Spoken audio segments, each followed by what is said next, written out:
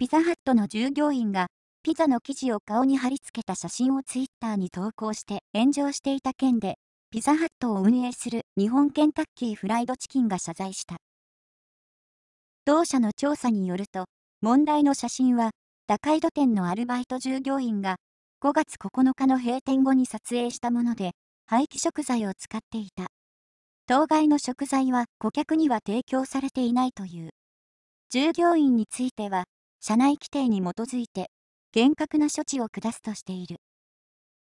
今回の事態を厳粛に受け止め、今後このような事態が発生しないよう、改めて全店舗全従業員に対する指導教育のさらなる強化徹底を図り、再発防止に努め、安全安心に対する信頼回復にグループ一丸となって努めてまいりますと謝罪した。